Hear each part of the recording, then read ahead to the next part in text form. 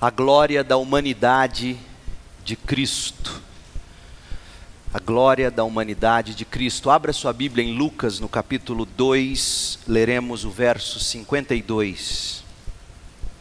Lucas 2, 52. Jesus crescia em sabedoria, em estatura e no favor de Deus e das pessoas.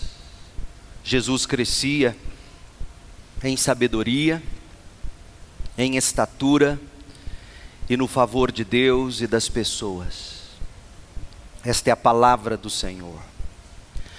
Nós estamos estudando a glória de Cristo, esta é a décima mensagem desta série. Escolhemos o tema para esta estação do ano com o objetivo de ver e desfrutar desta glória de maneira salvadora, de maneira santificadora, de maneira saciadora. O nosso estudo não é como de um médico legista, examinando evidências de maneira fria e profissional de um corpo desinteressante ou repugnante aos olhos comuns. Não. Nossa atitude ao estudar a glória de Cristo é como a de um fotógrafo em busca de imagens belas e encantadoras, de diversos ângulos diferentes, de uma mesma cadeia de maravilhas. Esse é o nosso objetivo. E para que tudo isso aconteça, nós temos que nos debruçar sobre a revelação da identidade de Jesus Cristo, conforme temos na Bíblia debruçar de uma maneira pessoal, na forma de um encontro face a face. Temos que ir para as Escrituras, ler as Escrituras e pedir que o próprio Espírito de Deus revele a nós, face a face, quem é esse Cristo maravilhoso. Quem é Jesus? Esta pergunta não é de hoje. Alguns dizem que Jesus é um grande mestre da humanidade. Outros dizem que ele é apenas o fundador do cristianismo, como Buda foi do budismo e, e assim por diante. Outros ainda dizem que ele é o filho de um carpinteiro de Nazaré, um judeu que reivindicou ser o Messias um mártir do primeiro século que morreu por uma causa nobre, outros dizem filho de Deus. Afinal, quem é Jesus? Essa pergunta ela perambulou pelas ruas de Jerusalém como um órfão miserável. Os discípulos de Jesus, certa vez, apavorados, perguntaram: Quem é este homem? Até o vento e o mar lhe obedecem. Depois, relatando a Jesus as conclusões de outras pessoas, os mesmos discípulos declararam: alguns dizem que o Senhor é João Batista, outros que é Elias, e outros ainda que é Jeremias ou um dos profetas. Os escribas e os fariseus, líderes religiosos dos dias de Jesus, vivendo na expectativa messiânica, ficaram especialmente furiosos por causa do pregador inquietante de Nazaré e perguntaram: quem ele pensa que é? Isso é blasfêmia, somente Deus pode perdoar pecados. E ainda os mesmos: quem é esse que anda por aí perdoando pecados? A pergunta, portanto, persiste. De tão persistente, ainda naquela época, chegou tão longe a ponto de bater as portas dos oficiais do alto comando romano. Herodes ponderou: Eu decapitei João Batista. Então, quem é esse homem sobre quem ouço essas histórias? E finalmente, de forma apoteótica, face a face, Pilatos questionou a identidade de Jesus. Você é o rei dos judeus? Gente, até hoje as pessoas perguntam quem é Jesus. A bem da verdade, Jesus é Deus. Paulo, inspirado por Deus, escreveu Colossenses 1, versículo 15, que diz: O Filho é a imagem do Deus invisível e é supremo sobre toda a criação. O autor de Hebreus também inspirado pelo Espírito Santo, registrou no capítulo 1, verso 3, o Filho, Jesus Cristo, irradia a glória de Deus, expressa de forma exata o que Deus é e com Sua palavra poderosa sustenta todas as coisas. Este é Jesus Cristo.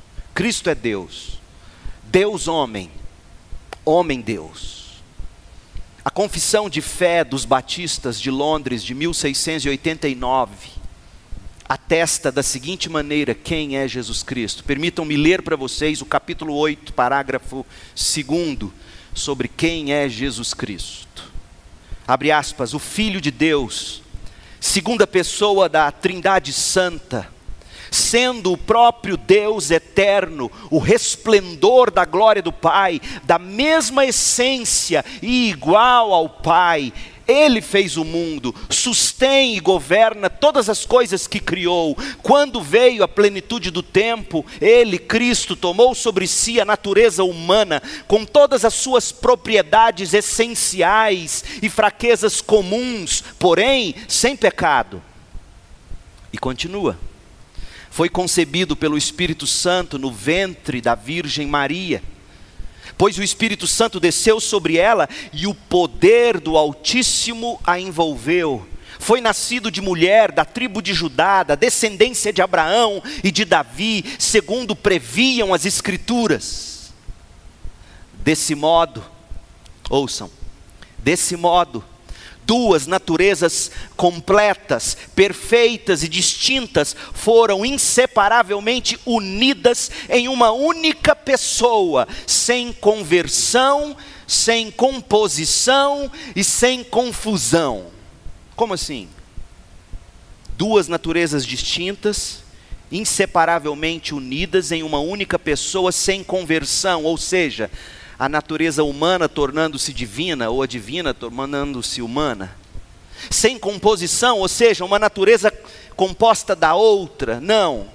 Sem confusão, sem mistura das duas naturezas em uma natureza composta. E essa pessoa é verdadeiramente Deus e verdadeiramente homem, no entanto, um só Cristo, o único mediador entre Deus e os homens. Como eu gostaria que nós batistas voltássemos para essa declaração de fé. Meu Deus. Porque somente este artigo nos faz exultar em louvor. Embora alguns hoje, como em todas as épocas, neguem a divindade de Cristo, também existem aqueles que a afirmam, afirmam a divindade de Cristo com tanta veemência que acabam ignorando o lado humano de Cristo, o que também é um erro. Nem tanto a um, nem tanto ao outro. Nós não podemos negar que Jesus, além de Deus, também é totalmente humano, aspecto tão importante quanto o aspecto divino.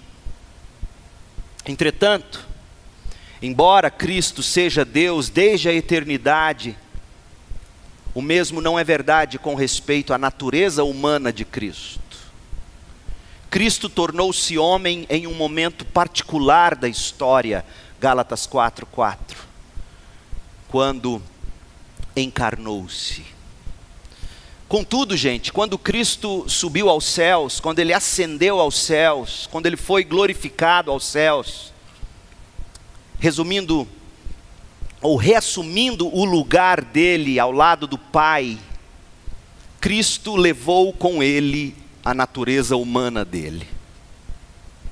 Cristo tornou-se Deus homem, o único a quem devemos adorar e em quem devemos buscar a salvação.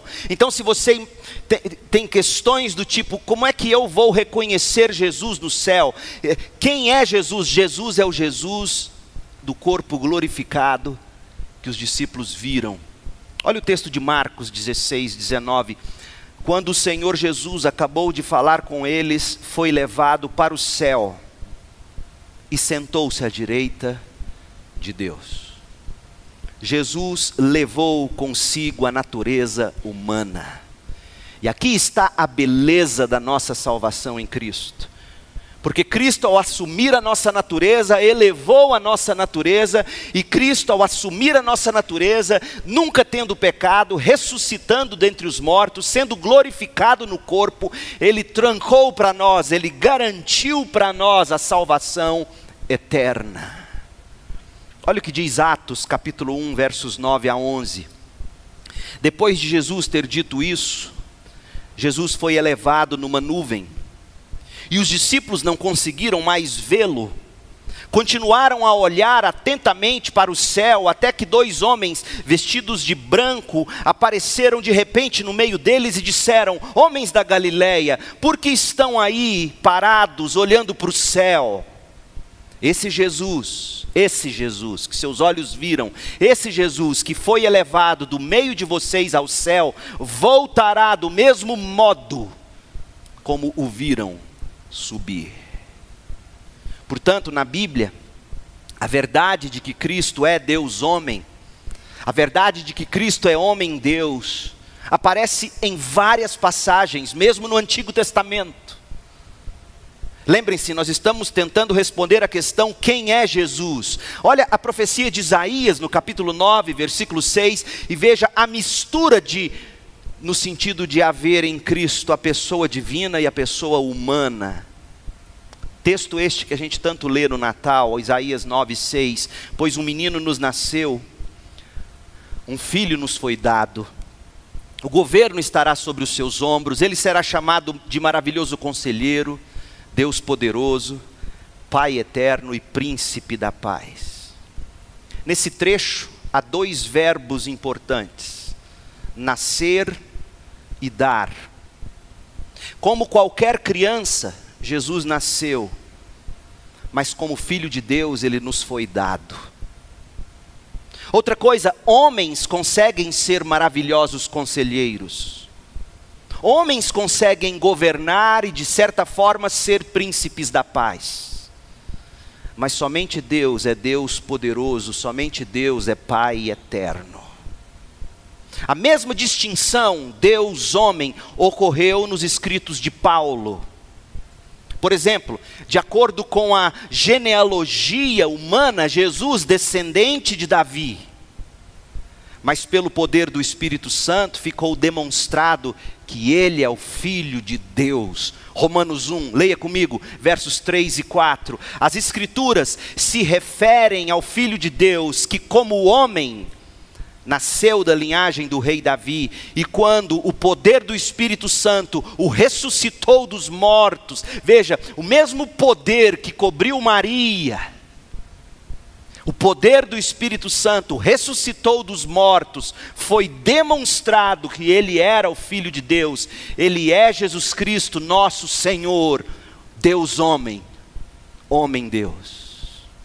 Jesus Cristo sempre foi Jesus Cristo é, Jesus Cristo sempre será o Filho de Deus. No entanto, foi nascido de mulher, sob a lei.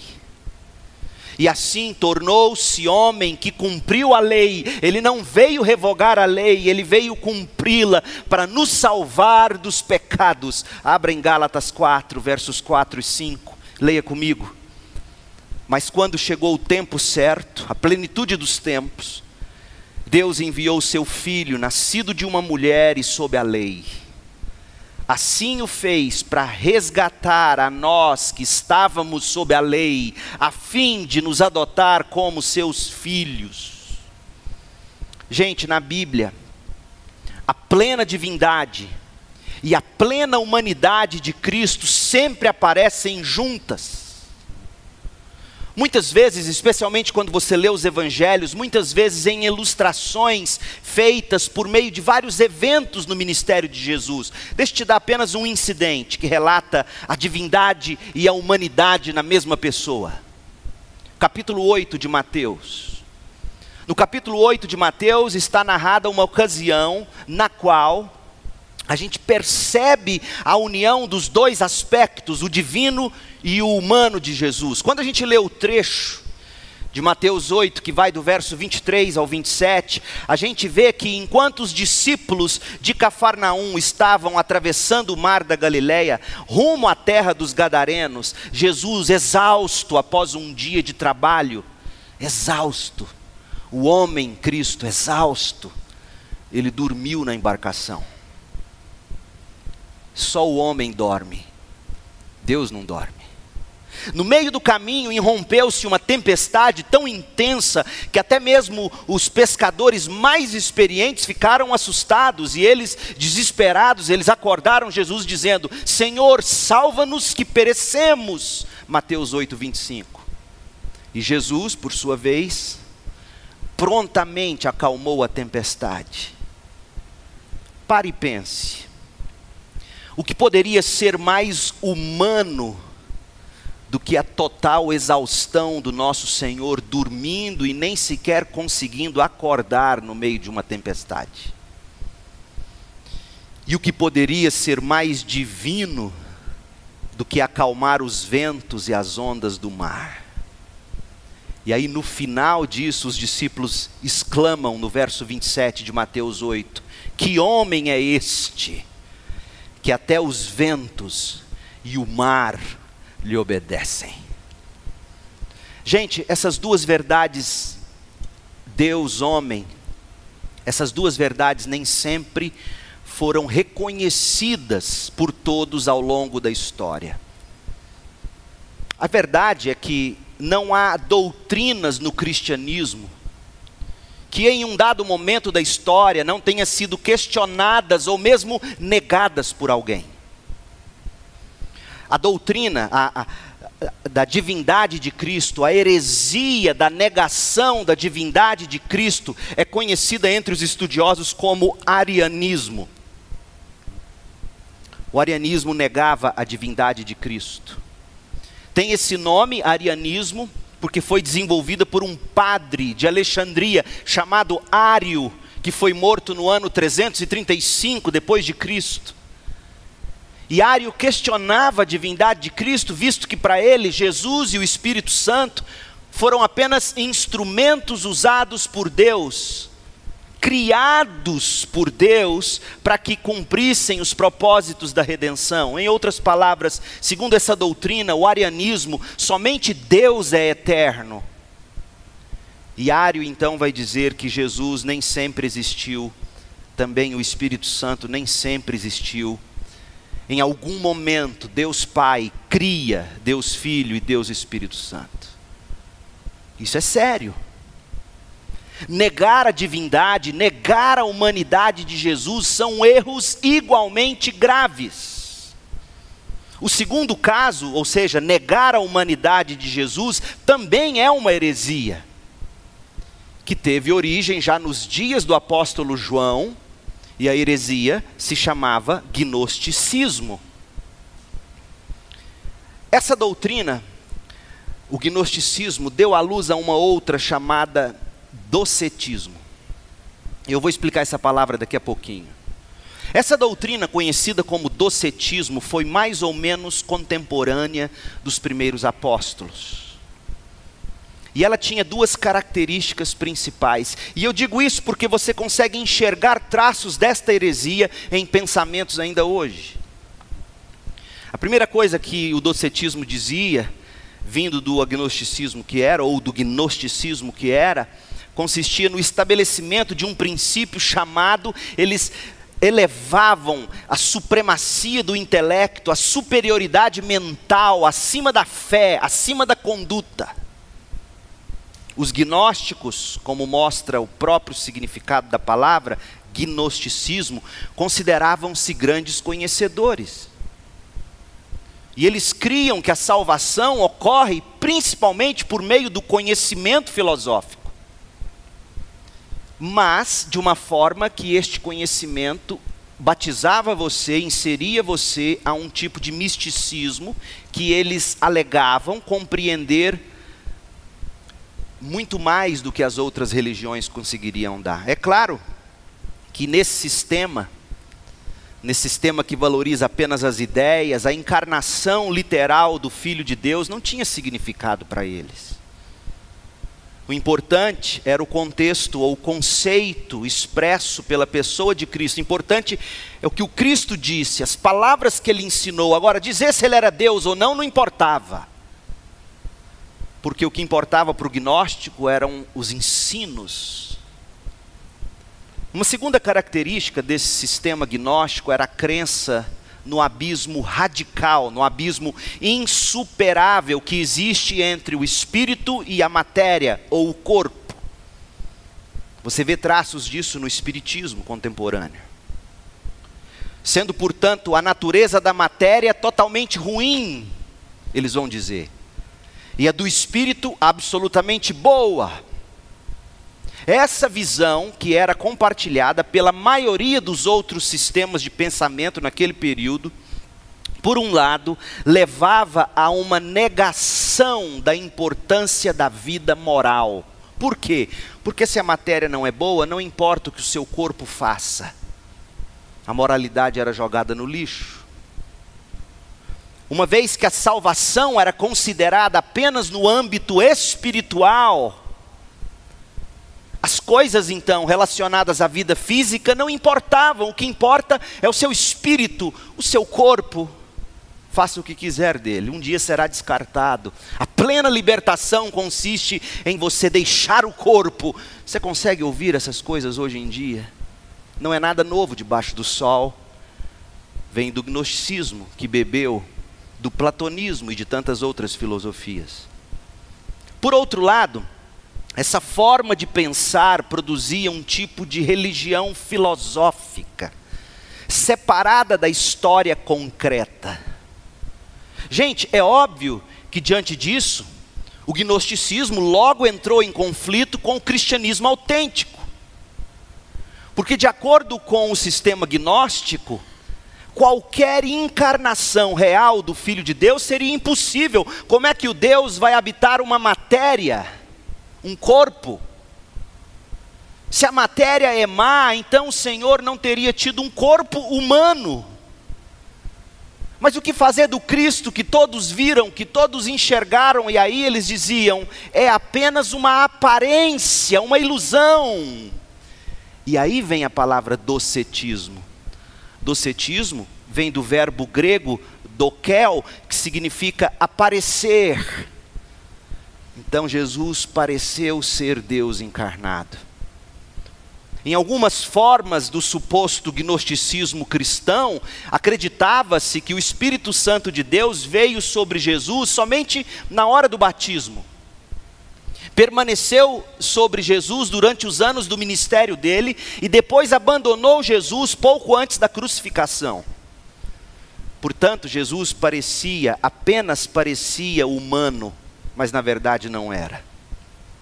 Então Cristo não possuía de fato, eles diziam, um corpo material, o que, portanto, impossibilitava-o de morrer de verdade e assim por diante. É óbvio que essa é uma doutrina anátema, maldita ao cristianismo. O docetismo foi fortemente rejeitado, e eu, e, e por que, que eu estou te dando essas informações todas? Ouça, eu prefiro mil vezes expor textos da Bíblia do que te apresentar conceitos como esse, mas se você não os tiver, você não vai entender algumas das passagens bíblicas, como eu vou te mostrar agora, por exemplo. A primeira resposta a essa doutrina, o docetismo, quem deu foi o apóstolo João. E nós temos já o apóstolo João combatendo o docetismo, combatendo a ideia de que Jesus apenas apareceu ser um humano, na primeira carta de João. Abre em 1 João e agora vai fazer sentido para você. João insistia na encarnação do Filho de Deus tão intensamente, que ele começa a sua primeira carta enfatizando a experiência física que ele, João e os apóstolos tiveram com Jesus. Não, Jesus não é apenas uma imagem, uma miragem, uma ideia, algo que pareceu ser homem, pareceu ser Deus. Não, ele existiu. E deixa eu te dizer como eu sei disso. 1 de João 1, verso 1. Proclamamos a vocês aquele que existia desde o princípio ou seja, ele não foi criado. ele existia desde o princípio. Agora, ouçam os, os, sentidos que, que João, dos cinco sentidos que nós temos: paladar, audição, olfato, visão, tato, né? Dos cinco sentidos, ele usa três. Olha o que ele vai dizer: proclamamos a vocês aquele que existia desde o princípio, aquele que ouvimos, aquele que vimos com os nossos próprios olhos, aquele em quem tocamos com nossas próprias mãos. Não é apenas uma aparência, esse que sempre existiu, nós o ouvimos, nós o vimos, nós o tocamos. Ele é a palavra da vida, aquele que é a vida nos foi revelado e nós o vimos. Agora testemunhamos e lhes proclamamos que Ele é a vida eterna. Ele estava com o Pai e nos foi revelado. Ele estava, Ele é eterno e nos foi revelado como? Na forma humana, de uma forma que nós podemos ouvi-lo, vê-lo, tocá-lo. Anunciamos-lhes aquilo que nós mesmos vimos e ouvimos, para que tenham comunhão conosco, comunhão naquilo que nós vimos, ouvimos, tocamos e nossa comunhão é com o Pai e com seu Filho Jesus Cristo. Veja, o simples pescador João, tendo que lidar com uma questão filosófica seríssima já nos seus dias, e fazendo com tamanha habilidade. E a igreja de Jesus Cristo hoje dando a mínima para esses conceitos. Não é de admirar que nós estejamos vivendo uma crise evangélica. A profundidade do cristianismo contemporâneo é da espessura de uma lâmina de gilete. Por quê? Porque quer apenas obter, receber, desfrutar dessa vida. Não importa se o nascimento foi virginal, se Jesus foi homem, Deus, Deus, homem. Eu quero a minha bênção para 2020. E aí eles vão lotar os templos dia 31 invocando o nome do Senhor como um caixa eletrônico, um cartão de crédito, dizendo: Eu quero o que é meu, eu quero o que foi conquistado para mim em Cristo Jesus. Essa é a graça de Deus. Não, essa é a desgraça do pecado. Porque Cristo sim já comprou para nós a vida eterna.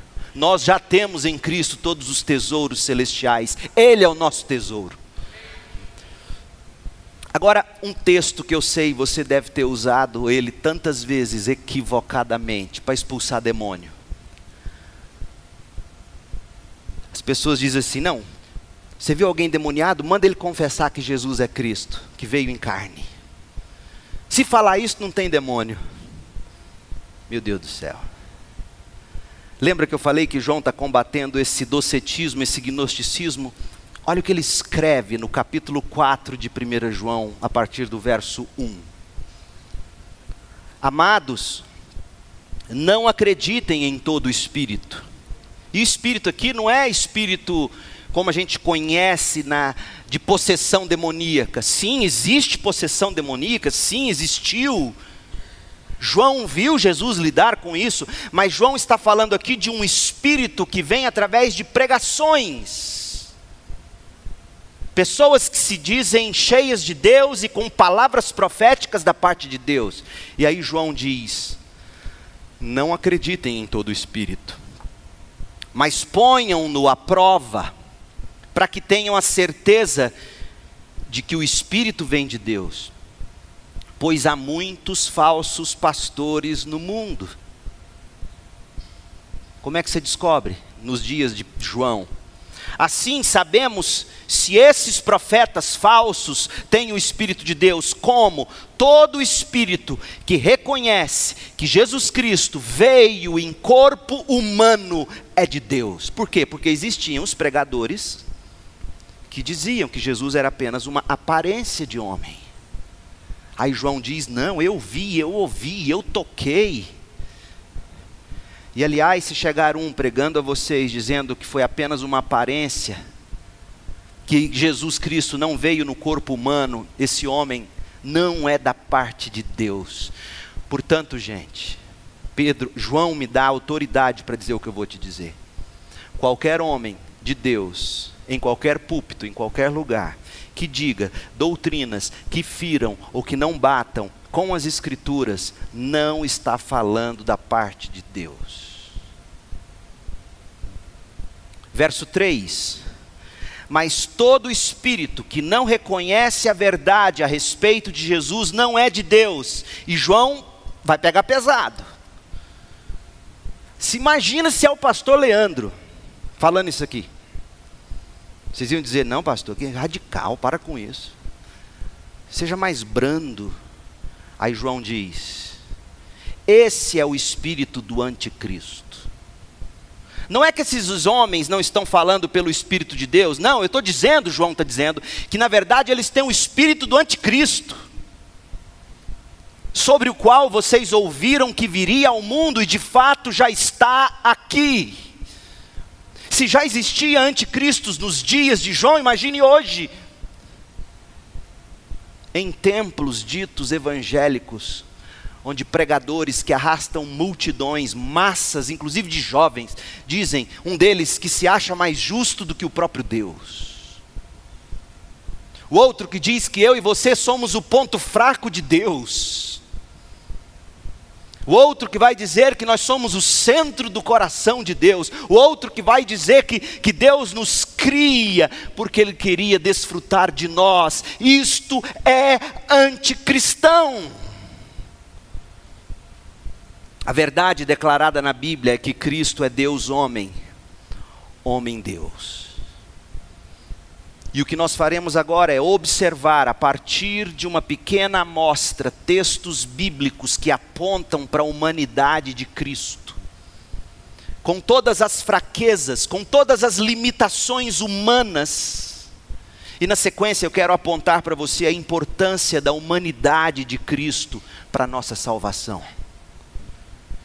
E em tudo que nós vamos observar agora, minha oração, meu desejo é que você, enxergando a humanidade de Cristo, se encante com esse Salvador maravilhoso. Minha oração é que o Espírito Santo de Deus, o mesmo que em poder gerou Jesus no útero de Maria, o mesmo que em poder ressuscitou Jesus dos mortos, este mesmo Espírito penetre com poder no seu coração, abra os olhos do seu coração e te faça enxergar enxergar a maravilha do Cristo, do Deus homem.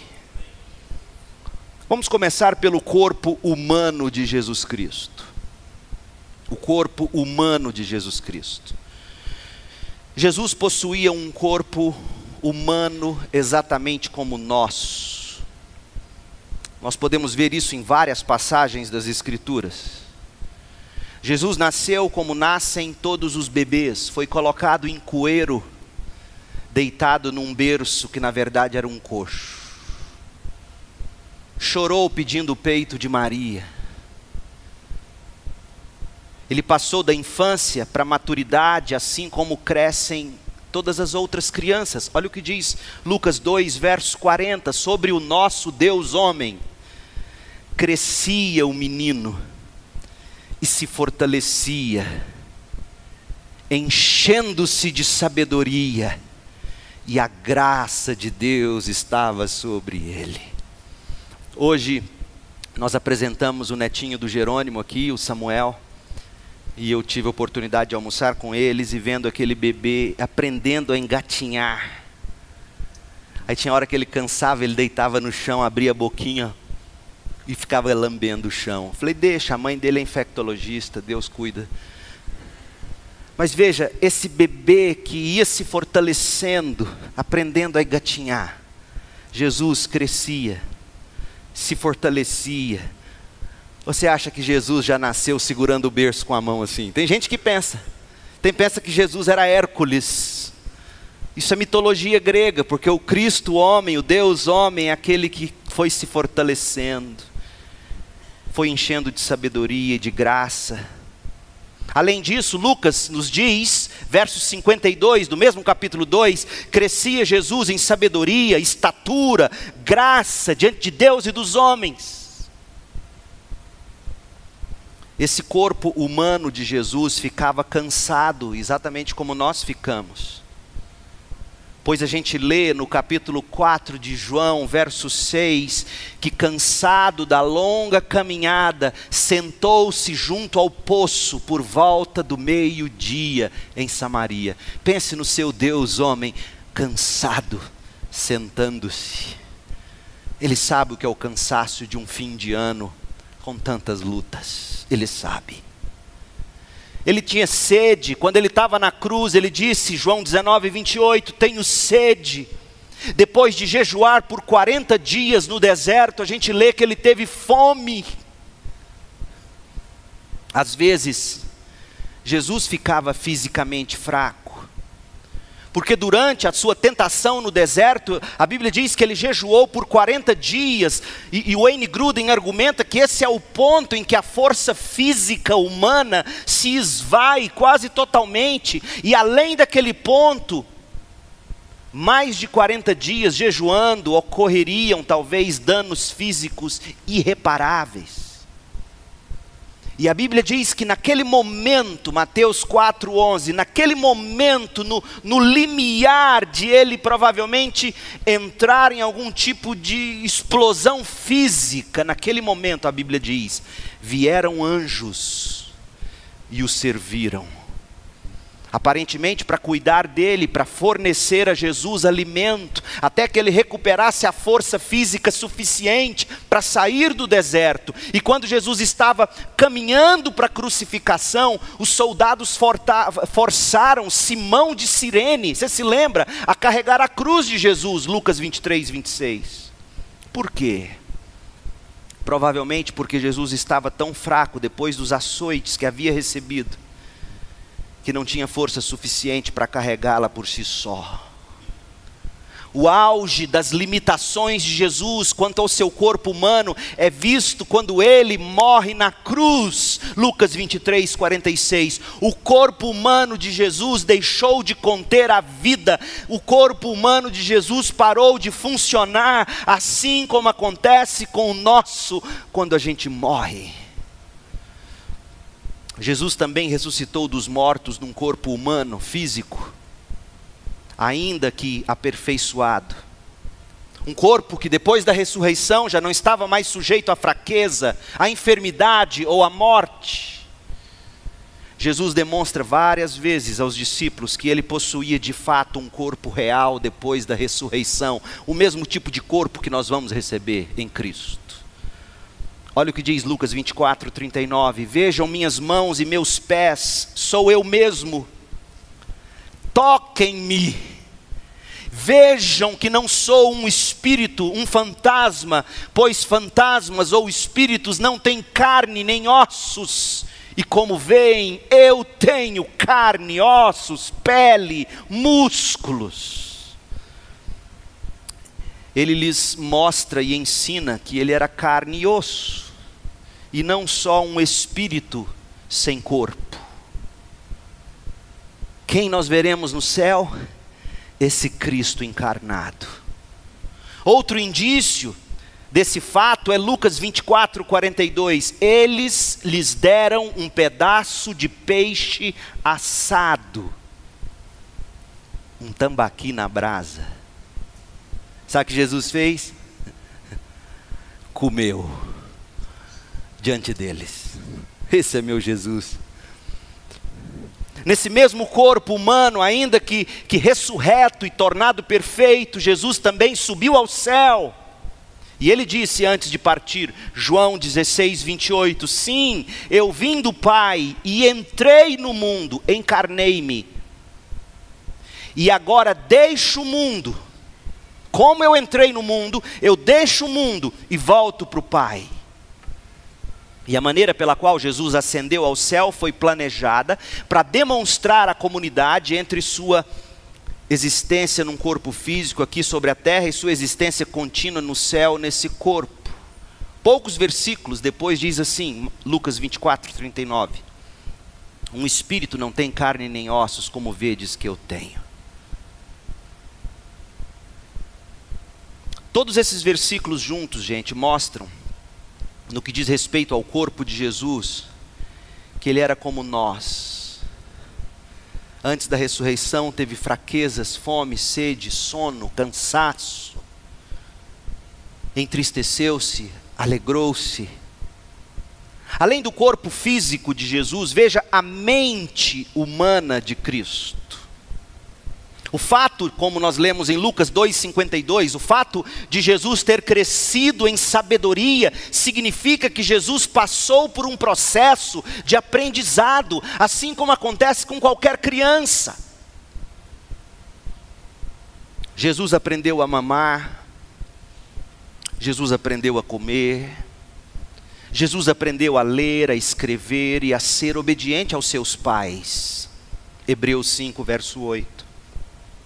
Esse processo normal de aprendizado fazia parte da genuinidade de Cristo, ou da genuína humanidade de Cristo.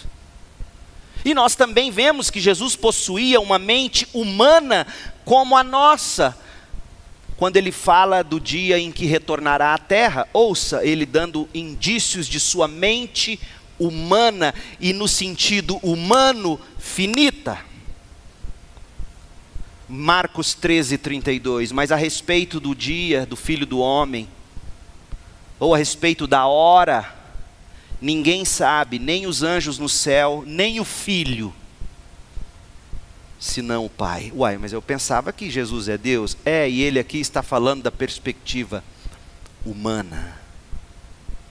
A alma humana, as emoções de Jesus. Gente, cabe um estudo inteiro apenas sobre as emoções de Jesus várias indicações de que Jesus possuía alma ou espírito, que do meu ponto de vista são a mesma coisa na Bíblia. O homem é composto de duas partes essenciais, a material e a imaterial. A material é o corpo, a imaterial, ora a Bíblia chama de alma, ora a Bíblia chama de espírito. E o que passa disso é mais filosofia platônica do que cristianismo e judaísmo. Se você quer ler mais sobre isso, eu sei que deve ter deixado você com dúvida, eu recomendo a Teologia Sistemática do Wayne Gruden, que vai te mostrar essas questões. Vemos várias indicações de que Jesus possuía alma humana ou espírito. Por exemplo, João 12, 27.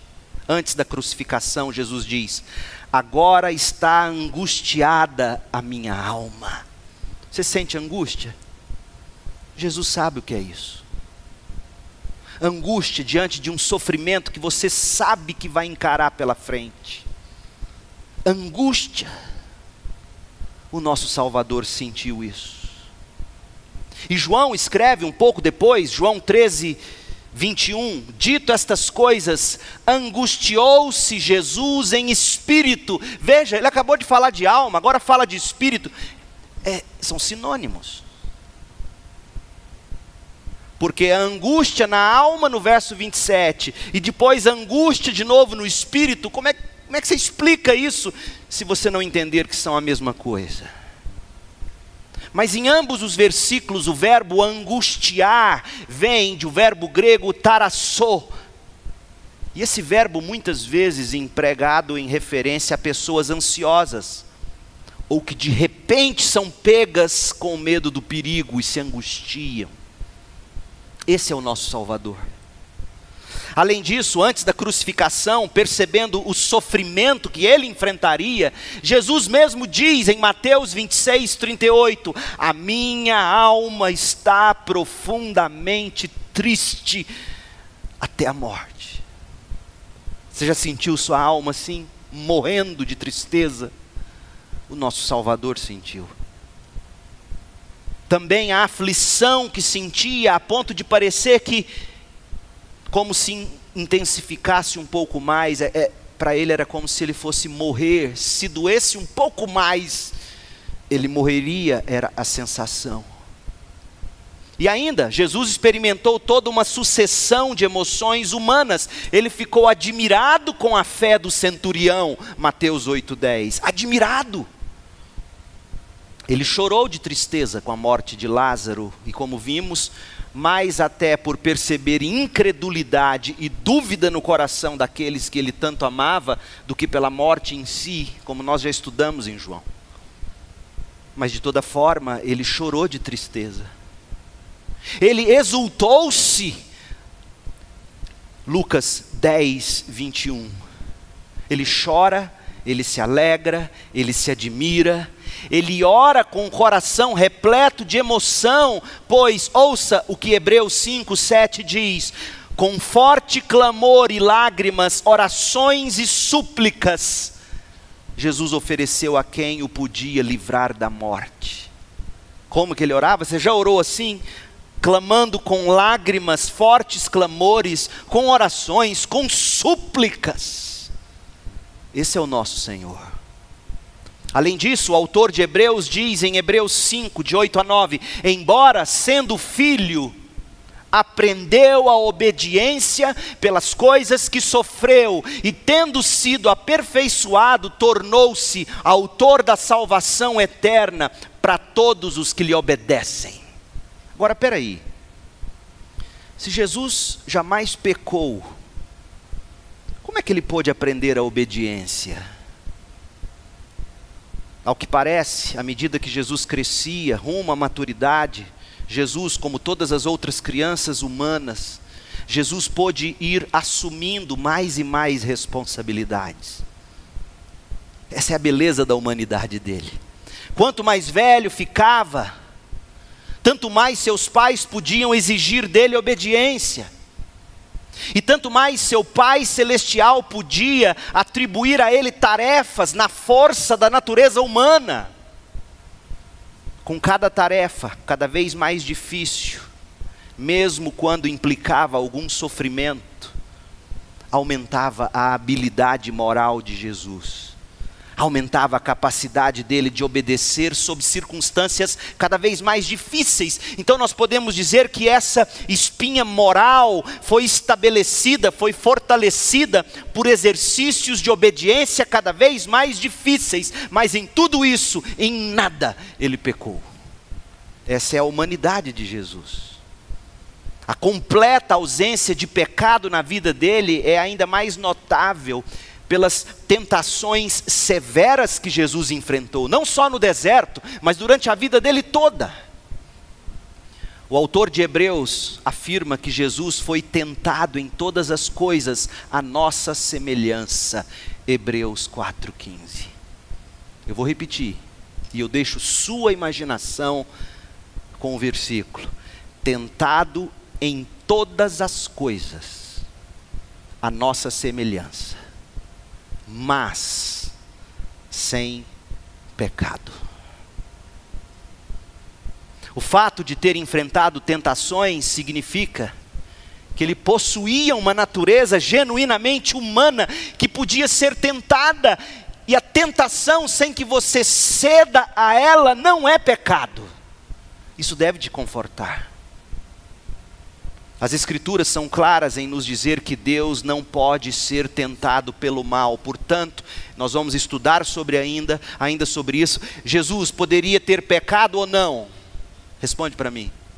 Sim ou não? Vou ter uma mensagem só sobre isso. Mas a natureza divina de Cristo jamais poderia pecar. E ainda mais surpreendente, as pessoas próximas a Jesus quando olhavam para Jesus, viam em Jesus uma criança comum, um adolescente comum, um jovem comum, um adulto comum. Ainda que Jesus tivesse ensinado durante toda a Galiléia, curando toda sorte de doenças, como está em Mateus 4, 23, curando toda sorte de doenças e enfermidades entre o povo, de modo que numerosas multidões o seguiam, quando Jesus chegou na cidade dele, Nazaré, o povo que o conhecia havia muitos anos não o recebeu. E olha por quê? Porque quando eles viram Jesus crescer, eles não viram outra coisa senão um ser humano. E aí eles veem esse homem fazendo tantas coisas, ele diz: não pode ser. Olha o que diz, Mateus 13, 53. Quando Jesus terminou de contar essas parábolas, deixou aquela região e voltou para Nazaré a cidade onde tinha morado. Enquanto ensinava na sinagoga, todos se admiravam e perguntavam: De onde lhe vem a sabedoria e o poder para realizar milagres? E por que, que eles fazem essa pergunta? Olha o verso 55. Não é esse o filho do carpinteiro? A gente conhece Maria, mãe dele, e também os irmãos, Tiago, José, Simão, Judas. Todas as suas irmãs moram aqui entre nós. Onde ele aprendeu essas coisas? e sentiam-se muito ofendidos. Verso 58. E por causa da incredulidade deles, realizou ali apenas uns poucos milagres. Isso nos ensina que Jesus, diante daqueles com quem ele convivia, era um ser humano comum, um homem justo, um homem nobre, um homem digno, mas um homem que não fazia ninguém num primeiro momento achar: ah, estamos diante de Deus. Por isso que eu te digo, sem a revelação do Espírito, mesmo nós vivendo face a face com Jesus, como esses aqui viveram lá em Nazaré, nós veríamos Jesus e não nos encantaríamos com Ele, porque a humanidade dele era tão comum, tão comum, que as pessoas não se admiravam. Pelo contrário, usavam isso como pedra de tropeço. Filho do carpinteiro, ele mesmo é carpinteiro. Onde ele aprendeu essas coisas? Nem mesmo seus irmãos criam em Jesus, João 7, verso 5. Nem os irmãos dele, que dormiram na beliche, do lado dele, acima ou abaixo dele. Ele era tão comum que os irmãos um dia acharam que Jesus estava ficando louco quando saía para pregar. Por quê?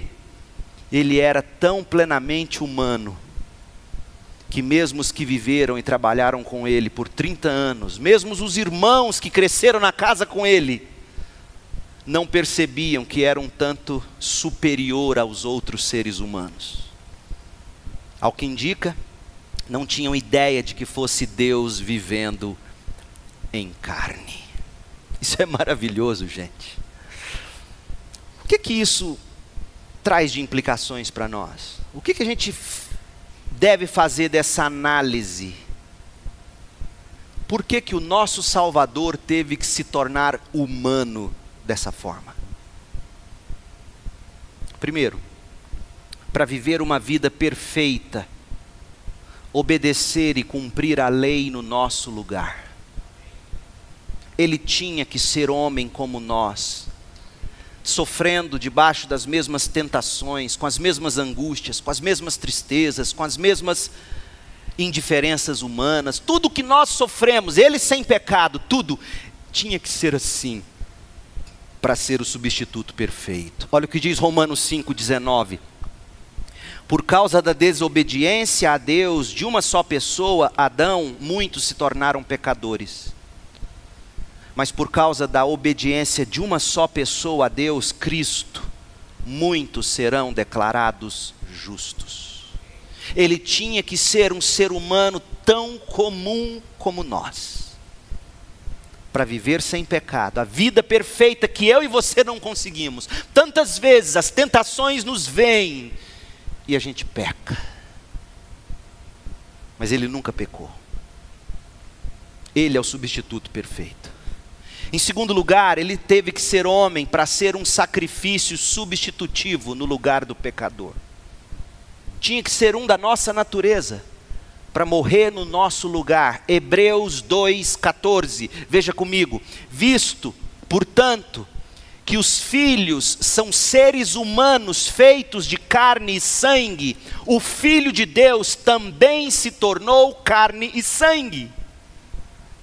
Não podia ser um, alguém que veio do céu simplesmente. Por isso, a, a, mensagem da manhã de hoje sobre o nascimento virginal, a composição perfeita de humano e divino num só ser. Ele tem que ser humano, por quê? Porque ele veio salvar gente de carne e osso. Ele tinha que morrer no lugar de gente de carne e osso. E portanto, ele se tornou carne e osso. E aí diz Hebreus 2,15: só dessa maneira ele libertaria aqueles que durante toda a vida estiveram escravizados pelo medo da morte. Também sabemos que o filho não veio para ajudar os anjos, mas os descendentes de Abraão. Portanto, era necessário que Jesus se tornasse semelhante a seus irmãos em todos os aspectos, de modo que pudesse ser nosso misericordioso e fiel sumo sacerdote diante de Deus e realizar o sacrifício que remove os pecados do povo. Ele tinha que ser um de nós. Em terceiro lugar, tinha que ser humano para ser o mediador, o único entre Deus e os homens. 1 Timóteo 2,5: Pois há um só Deus e um só mediador entre Deus e a humanidade. Quem? O homem Jesus Cristo. O homem Jesus Cristo. O mediador que nos representa diante de Deus, como humano e o mediador que representa Deus diante de nós. Em quarto lugar, tinha que ser homem para cumprir o propósito original do homem de dominar a criação. Deus nos criou para dominar a criação e nós falhamos lá no Éden. Mas quando Jesus vem na forma humana, ele resgata para nós esse privilégio. Olha o que está em Apocalipse 3, 21 o vitorioso se sentará comigo em meu trono, assim como eu fui vitorioso e me sentei com meu Pai em seu trono. Quando Jesus veio ao mundo como homem, ele foi capaz de obedecer a Deus e assim teve o direito de dominar a criação como homem, cumprindo o propósito original de Deus para a humanidade. E nos leva a esse privilégio. Em quinto lugar, tornou-se homem para ser o nosso exemplo e padrão na vida. 1 de João 2, verso 6. Quem afirma que permanece nele deve viver como ele viveu. Oh, meu povo, como isso aqui é importante para nós. Nós não gostamos de conviver com gente diferente da gente. Pensa sobre isso. Nós não gostamos de conviver com quem pensa diferente, age diferente, fala diferente. O Filho eterno de Deus veio viver com os diferentes. Sabe uma das coisas que mais irrita meu coração e entristece? É a acepção de pessoas. Isso não é cristianismo. E eu oro a Deus e peço, espero em Deus que nossa não seja uma igreja assim, que escolhe com quem quer andar. Isso é pecado. O nosso exemplo é o Cristo, que não afastou da ceia nem mesmo aquele que o trairia, Judas. Esse é o exemplo de como se deve amar. Se há alguém aqui hoje à noite com um coração errado, aprenda com o seu Senhor, se é que Ele é o seu Senhor. O seu Senhor é aquele que nos convida a viver como Ele viveu, recebendo pessoas que todos desprezavam. Todos. Ai, como eu tenho aprendido com isso como eu tenho aprendido a viver com diferentes, quem pensa diferente de mim.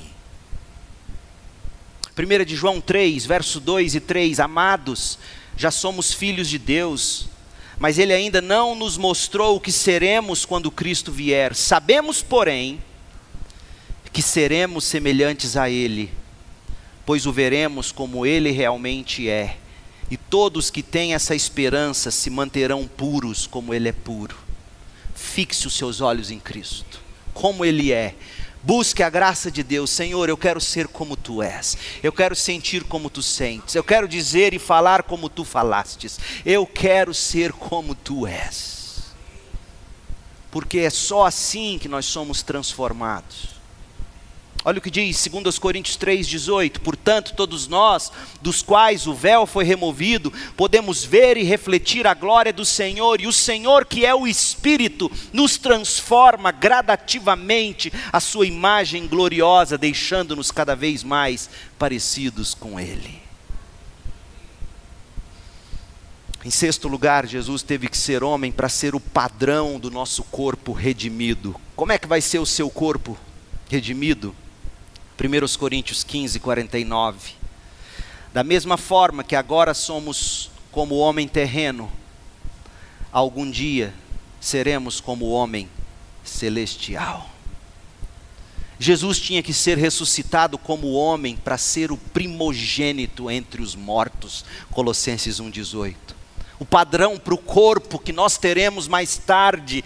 Então, se você quer conhecer como você será, pegue um vislumbre do que nós temos na vida do Cristo após a ressurreição. E a última coisa, por que, que Jesus teve que tornar-se homem? Para se compadecer de nós como sumo sacerdote. Hebreus 2,18.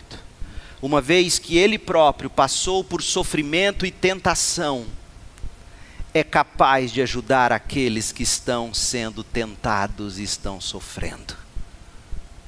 Não há tentação que você enfrente que ele não tenha enfrentado.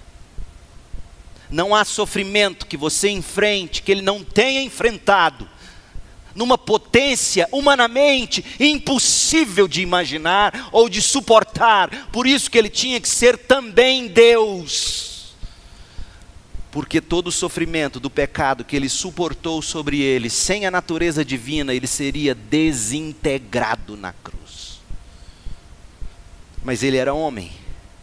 E uma vez que ele mesmo passou por sofrimento e tentação, ele é capaz de compadecer, de ajudar você e a mim. Hebreus 4, de 15 a 16, nosso sumo sacerdote entende nossas fraquezas pois enfrentou as mesmas tentações que nós, mas nunca pecou. Assim, por que, que Jesus tem que ser assim tão humano para eu e você não termos medo de ir a Ele? Assim, aproximemo-nos com toda confiança do trono da graça, onde receberemos misericórdia e encontraremos graça para nos ajudar quando for preciso. Deus tornou-se homem, porque viveu e morreu e ressuscitou como homem. Cristo é capaz de se compadecer mais plenamente de nós em nossas experiências. E eu encerro aqui. A humanidade, de Cristo é gloriosa para nós crentes. Se você consegue ver e desfrutar dessa maravilha de milagre, você recebe salvação você vai sendo santificado e você se satisfaz. Cristo se fez homem para viver uma vida perfeita, obedecer e cumprir a lei no lugar do pecador. Cristo se fez homem para ser um sacrifício substitutivo no lugar do pecador. Cristo se fez homem para ser o único mediador entre Deus e os homens. Cristo se fez homem para cumprir o propósito original de Deus para o homem, de dominar sobre a criação. Cristo se fez homem para ser o nosso exemplo e padrão na vida. Cristo se fez homem para ser o padrão do nosso corpo redimido. Cristo se fez homem para compadecer-se de nós como sumo sacerdote. Você consegue ver essa maravilha? Você já desfruta dessa graça? Hoje à noite você pode provar desse Cristo, basta você arrepender-se e crer. E se você diz, Eu não consigo, pastor, clame a Deus, para Deus todas as coisas são possíveis. E principalmente, esta é a grande obra do Espírito Santo de Deus. A grande obra do Espírito Santo de Deus não é ser um ente aí que fica levando pessoas a êxtase. Pelo contrário, a grande obra do Espírito de Deus é abrir seus olhos, é exaltar Jesus diante de você de uma forma toda maravilhosa, e você pode dizer hoje à noite: Eu quero esse Salvador que se compadece de mim, eu quero esse Salvador que viveu a vida que eu não consigo viver, eu quero esse Salvador que suportou o pecado que eu jamais vou conseguir pagar, eu quero esse Salvador que, que é exemplo de vida humana, eu quero ser como Ele, eu quero esse Salvador que me representa diante de Deus e representa Deus diante dos meus olhos, eu quero esse Salvador que tem um corpo perfeito depois da ressurreição, corpo este, que eu quero desfrutar sem doenças, sem dores, sem angústias. Eu quero este Salvador É o seu desejo hoje à noite, eu quero orar por você. Fique em pé. Alguém assim, em nome de Jesus, hoje à noite, se você quer esse Salvador maravilhoso, esse Cristo glorioso, eu quero orar por você. Levante-se, onde você estiver. Não saia daqui sem confessar Jesus como seu Senhor e Salvador. Alguém entre nós? Vamos orar. Salvador maravilhoso, Deus que tomou o meu lugar. Como nós te exaltamos, ó Senhor Jesus Cristo. Como nós te glorificamos pela vida perfeita, obediente. Como nós te agradecemos por ter cumprido a lei no nosso lugar. Nós te louvamos por ter sido o sacrifício perfeito em nosso lugar. Te louvamos por ser o mediador entre Deus e nós. Te louvamos porque resgatastes para nós de volta o privilégio de sermos os regentes sobre toda a criação. Te louvamos pelo exemplo de vida, te louvamos pelo corpo glorificado, a exemplo do teu que receberemos.